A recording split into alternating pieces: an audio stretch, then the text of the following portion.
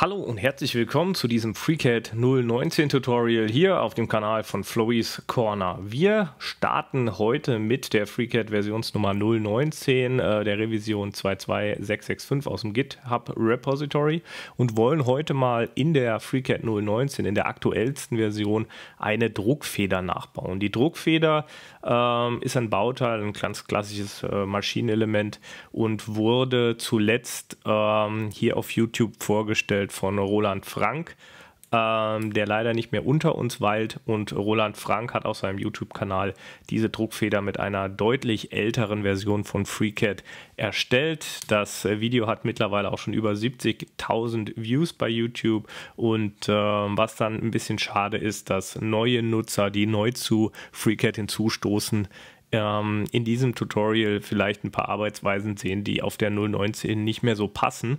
Und da habe ich mir gedacht, so als klassischer FreeCAD-YouTuber könnte es nicht schaden, das Ganze mal auf die 019 anzupassen. Und ja, noch eine Sache im Vorwort. Wir arbeiten im Part Design, also der ähm, featurebasierten äh, Arbeitsumgebung Part Design und äh, müssen uns trotzdem in der Part Workbench, also der anderen Workbench hier, bedienen, um die Helix zu bekommen als Grundlage für unsere Druckfeder. Die gibt es im Part Design aktuell noch nicht. Los geht's. Wir wechseln zunächst wirklich dann ins Part rein, um uns dort bei der Helix zu bedienen. Gehen dann hier auf den Schalter Erstellung von parametrisierten geometrischen Grundkörpern und suchen uns dann hier unter den geometrischen Grundkörpern links in der Combo-Ansicht die Helix heraus. Das ist dieser Körper hier und geben jetzt hier die Werte ein. Ich werde jetzt so ein bisschen äh, aus dem Kopf, so ein bisschen Freestyle eingeben. Also ich möchte äh, eine Steigung von 10 mm haben zwischen den einzelnen Windungen, eine Gesamthöhe von 60 mm und der Radius meiner Feder, den lege ich jetzt einfach mal auf 15 mm fest. Rechtsdrehend und jetzt kein Winkel, alles okay und erstelle mir das Ganze schließe mir dieses Menü und habe jetzt hier schon mal die Helix als Grundelement der Druckfeder. Man könnte jetzt im Part weiterarbeiten, aber wir haben ja gesagt, wir machen das im Part Design und lernen dabei auch noch ein paar Dinge, wie wir aus dem Part sauber Elemente in die Part Design Workbench überführen können. So, als nächstes Part Design wählen. Und wie ihr schon wisst, wenn ihr schon etwas länger auf meinem Kanal seid, in der Part Design läuft alles nur mit Buddies, also nur hier mit Buddy-Containern, die man hier äh, in seiner Part Design Umgebung zwingend braucht. Das heißt, erstmal ziehen wir uns jetzt hier einen neuen Körper hier in die Part-Design-Umgebung rein und können jetzt hier anfangen zu konstruieren. Die Helix ziehen wir uns jetzt hier nicht äh, rein in den Body oder so, sondern die linken wir uns hier mit dem sogenannten Shape Binder oder Bezugsobjekt jetzt hier auf Deutsch. Das bedeutet, dass ähm, das einfach hier quasi rein verlinkt wird, die Geometrie und ähm, das ist genau das, was wir tun wollen, damit wir dann im Body auch mit dieser Geometrie arbeiten können. Wir wählen, schauen, dass der Buddy äh, dick und fett geschrieben ist, dann ist er nämlich aktiv. Man muss immer schauen, hier aktiven Körper umschalten, wenn man mehrere Buddies im Dokument hat, dass man immer mit dem aktiven Körper arbeitet. Wir haben jetzt hier nur einen, deswegen ist der eh fett. Trotzdem merkt euch das schon mal. Und äh, dann selektieren wir einmal hier mit Klick die Helix und ziehen uns jetzt hier mit dem Shape Binder Objekt diese Helix unter den Buddy und wie ihr seht, haben wir jetzt hier einen Shape Binder drin, der sich auf die Helix bezieht. Den nenne ich jetzt noch kurz um. SB Helix.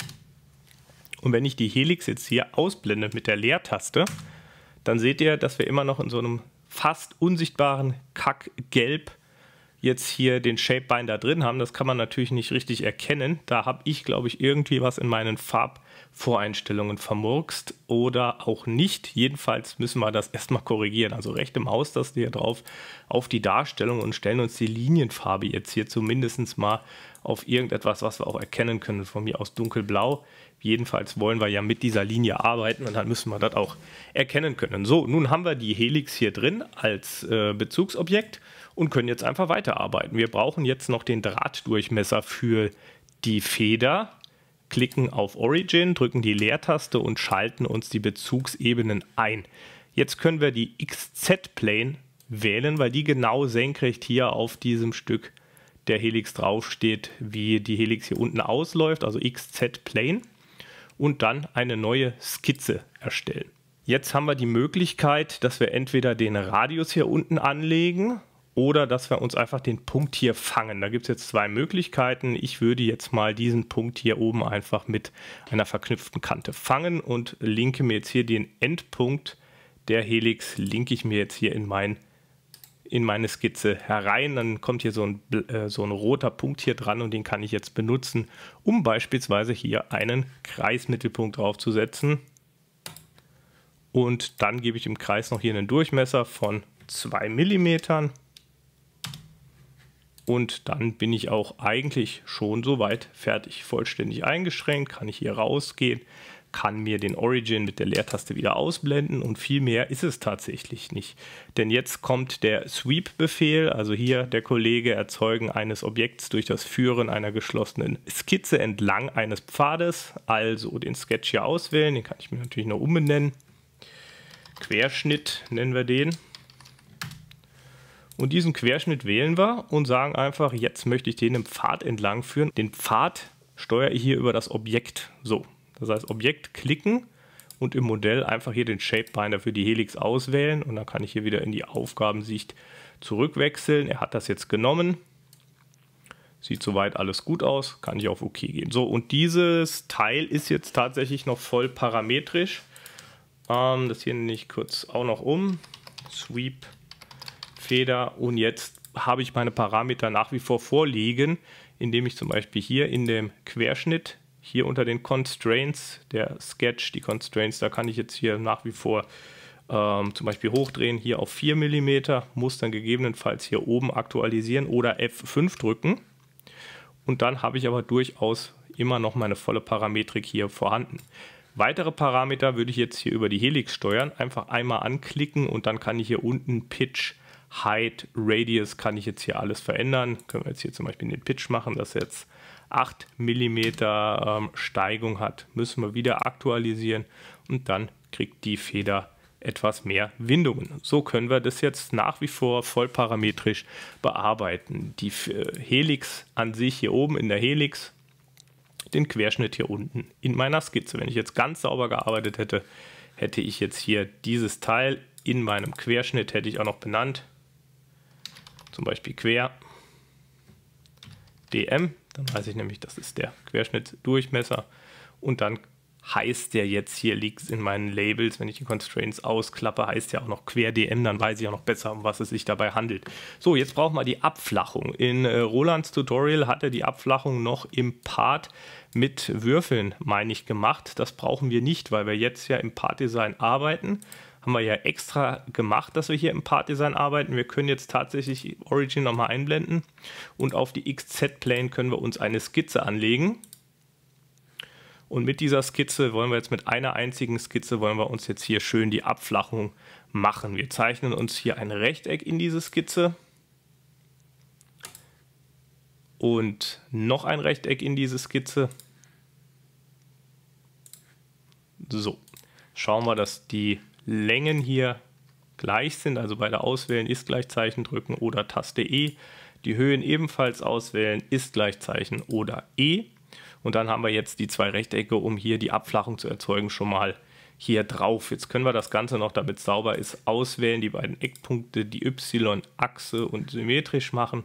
Und genauso hier unten bei diesem Rechteck die beiden Eckpunkte Y-Achse und symmetrisch machen. Und ähm, das hier sind jetzt einfach Werte, die entspringen meiner Fantasie. Die sind jetzt auch gar nicht so wichtig. Muss halt nur groß genügend sein, um hier eine Abflachung zu erzeugen. Und jetzt die, die, die Distanz zwischen den Rechtecken, die ist selbstverständlich noch wichtig. Das ist nämlich genau die 60 mm. Die könnten wir uns jetzt auch aus den Parametern rausziehen von der Helix. Das wäre auch kein Problem. Und äh, jetzt machen wir noch hier unten die Länge, dass es voll bestimmt ist. 140 von mir aus. Und das reicht auf jeden Fall, um als Taschenbefehl subtraktiv hier auf meine Helix einzuwirken, um meine Helix jetzt hier oben und unten mit einem Befehl abzuschneiden. Also jetzt hier, ähm, es geht nämlich jetzt hier ganz kreativ abschneiden, wähle mir diese Skizze, gehe auf den Taschenbefehl und im Prinzip noch symmetrisch einschalten, dass er nach vorne und nach hinten abschneidet und durch alles hindurch. Und dann war es das sauber im Part-Design designt. Was man jetzt noch verbessern kann, das mache ich nicht. Da vertraue ich darauf, dass ihr da mittlerweile, wenn ihr meine Videos kennt, schon fit genug seid. Ihr könnt euch jetzt hier den Parameter der Höhe zum Beispiel aus der Helix ziehen und könnt das dann im Pocket, also hier beim Abschneiden, könnt ihr das hier in der Skizze anbringen. Genauso die äh, Dimension der Rechtecke hier könnt ihr darüber steuern. Da könnt ihr einfach mal euch ein bisschen austoben, um es wirklich 100% voll parametrisch zu machen. Für mich und für mein Tutorial hier reicht das jetzt in dem Falle, denn ähm, es ging nur darum, wie man in der 19 sauber mit Shapebindern hier arbeiten kann, um hier eine saubere Druckfeder zu erzeugen. Ähm, ich danke euch für die Aufmerksamkeit. Ich hoffe, ihr habt ein bisschen was gelernt. Ich hoffe, ihr habt ein bisschen Spaß gehabt. Unterstützt das Video doch gerne, indem ihr einen Daumen hoch gebt oder indem ihr ein bisschen in die Kommentare rumschreibt, Fragen stellt oder eigene Ideen für Videos loswerdet. Ich bedanke mich, macht's gut, euer Flowy und auf Wiedersehen.